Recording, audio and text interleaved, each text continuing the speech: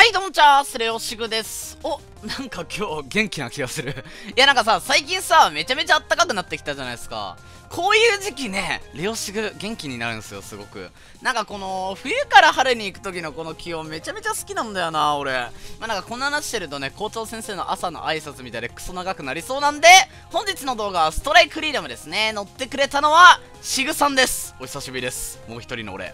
あのー、最近までね、シグさん全然ガンダムやってなかったんですけど、急にモチベが爆発して、なんかね、あの、めちゃめちゃやってるみたいです。で、まあそんな感じで最近ガンダムやってるから天下やろうぜって誘われて撮ってきた次第なんですけど、シグさんと組むのね、ほんとさっき言った通り久々だったんで、まあどうやって組んでたかなとか思いながら組んだらね、久々になんかこう実感したわ。やっぱね、この男ね、ガンダム界一硬い男言って言っても過言ではないかもしれない。本当にね、ノーダメ試合めちゃめちゃ多いんすよ。なんかあのー、やっぱさ、ノーダメ試合ってさ、まあ、1日ガンダムやって、あ、多くて2回とか、もうそんなもんじゃないですか。あんまり見れるもんじゃないじゃん、ノーダメ試合って。この人ね、本当になんか1日10回ぐらいノーダメ試合上あなんか量産するからさ、感覚麻痺するのよね。うお、すげえな、ここ絵面。はい、っていう感じで今回、シグさんのまたノーダメ無双が見れるということで、俺も久々なんで、ほんと楽しみですね。じゃあ視点の方、見ていきましょう。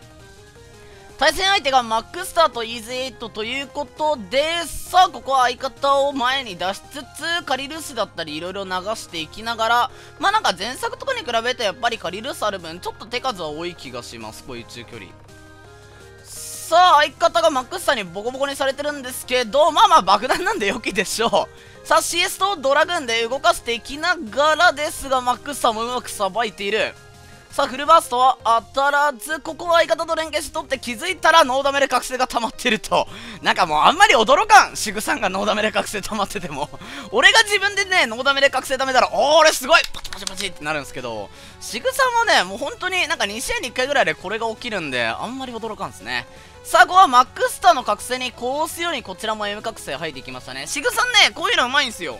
相手の何かに対してこちらの手段を取るというか手札を切る。まあシードにしても覚醒にしてもそうなんですけどこういうなんかもったいない割り方をしない。あの結構有意義な割り方するのがノーダメにつながってるのかななんて思ったりします。さあ一度見られてなかったんでここはしっかりドラグーンの方照射していきつつラストは旋回してイージェイトにメインが引っかかった感じですかね。はいといった感じの1試合目でした。今回もね火ダメの数がマジで少ない。じゃあ2試合目見ていきましょう。そういえばストフリってちょっと前の環境ですごく多かったけど今は割と数減らした感じがしますね。というかなんかやっぱ今ユニコーンが環境に流行ってるからユニコーンみたいなすんごい強いなその次元強化持ってる相手にまあこういう待つ戦い方するキャラってのはちょっと難しかったりするのかな。まあそういった感じでちょっとユニコーン対面気になるから見ていきましょう。さあ対戦相手がジャスティスとユニコーンということでさあ一度 NTD 中ですがそうシグさんはね爆弾の後ろやりつつもこうやって赤ロックで戦ってくれることが多いんで爆弾の前がめちゃめちゃ助かるんですよね。ずっとミドルロックでね芋ってるだけじゃないってこれでノーダメってのがすごいこの距離感で戦ってノーダメってのが。さあ、球はすべてスレスレで完成ジャンプでかわしていきつつ、この人の完成ジャンプね、なんかこう、同じこと真似ようとしてもね、取られちゃうんですよね。なんか、すごい軸のずらし方がうまいんですよ。完成ジャンプで軸合いやすいんですよね、相手の球。なんですけど、しっかりさばいていくと。さあ、ここはジャスティスをダブルロックしていきながら、この距離感で戦ってくれるのマジで何回も言うんだけど、ありがてえ。さあ、ユニコーンが覚醒を割ったので、ここはシードを発艦ですかね。と思ったんですが、ここはアマツがね、即座にロック取ったんで、シードを温存できたと。これはだいぶでかいですね。さあ、ダブルロックの場面、ここさすがに食らいそうなんですけど、ブースト残しながらね、こういう軌道を変える完成ジャンプっていうんですかね、こういうのされるとやっぱね、俺も対面してで思うけど、取れねえんだよな、本当に。さあ、右からアラートが鳴ってるんで、多分ユニコーンが来ている。さあ、ふわふわするね、こういう機体はリズルが怖いんですが、この人ね、そう、宙返りの使い方マジでうまいんだよね。なんかその、宙返りって雑にずっと降りてくる踏んじゃってるとね、結構弾もらいがち。挙動がね、遅いんで、誘導切ってると、家道弾もらいがちなんですけど、しっかり軸ずらすようにやってるんで、この軸ずらしが本当にうまいんだよな。全然これのおかげで被弾しない。さあ、壁際のユニコーン、これはさすがにシード割るかと思ったが、しっかりアマツが駆けつけている。さあ、シードも温存して、もうすぐ覚醒が溜まりそうですね。さあ S 角の NTD がぶつかってここで温存しておいたシードが役に立つと。よくできてんな本当に。さあと思ったんですがここは C 覚醒で覚醒が溜まったんでこれは覚醒使ってなんならそのまま攻めていって試合終了っすね。うますぎる。はいって単純に試合目でした。いややっぱしぐさんのストフリほんと見てて感動するな。あ、ストフリそういえばね、次回作新武装で、なんか特格サブじゃないな。えっと、なんかフリーダムの特格サブみたいな、あの、クスビアス3レルホだっけレルガンの名前。なんかこれを回転打ちするやつ。なんかほんと、フリーダムと同じような挙動でね、結構弾の大きいやつ撃ってたんで、だいぶ強そうっすね。今のところのサブ、こいつのサブっていうと、まあ、レールガンにしても、カリルースにしてもそうなんだけど、まあ、3000の単発武装でリロード10秒なんですよ、これ一発。結構長めなんですけど、それにしてはちょっと性能控えめなんで、まあ、割と強いやつが追加されるのは、それはそれで激アツなのかなと、シグさん話しておりました。はい、という感じでは3試合目見ていきましょうとかいう世間話をしてるうちに、あ、隣の松が 30秒ぐらいで角落ちしてますね。あのタイミングに挟まれるとね、もうすごいんですよ。ぐちゃぐちゃにされる さあ、といった感じですが、シグさんは平常運転で飲めた。てか、まだ動画が始まってから1回も避難してないの、まあ、すごいね。俺の松もなんか体感1500ダメージぐらい食らってるような気がします。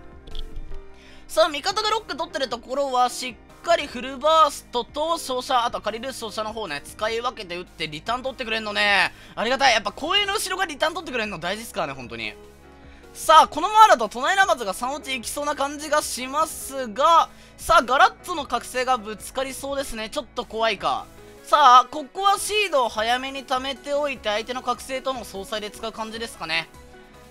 さあ、バリア突っ込んでくるんですが、ここにゲロビア合わせていって、しかもそこから、ビーリー角つなげて宙返り格闘からの覚醒技、ビームサーベルでめった切り。すごいマジで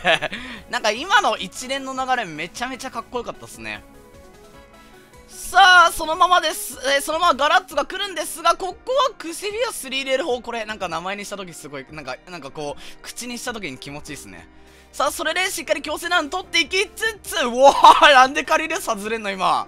さあ、ガラッツのメインしかもらってない、かさたりしかもらってないんで、うわーなんで当たんねえんだよ、あれさっきから。さあ、という感じですが、ラストは天津が決めて試合終了ですね。といった感じの3試合目でした。そう、シグさんがね、ひたすらこのレールガン、このレールガン、なんという、なんかちょっと文句言いたげにしましたね。はい、じゃあ本日ラスト見ていきましょう。俺、マッキオンの頃から動画投稿を始めて、今の今まで割といろんな動画上げてきたけど、こんなに被弾少ない動画今回が初めてじゃないかな。なんか前にシグさんの動画上げた時もね、すごい被弾少なくて、確か4試合通して400ぐらいだったんだよ。1回も落ちてないみたいな計算だったんだけど、今回まだ火ダメ40ぐらいだもんね。なんか日に日に硬くなってくな、この人のストーリー。はい、本日ラスト見ていきましょう。対戦相手がシャゲとエクプロの編成ということで、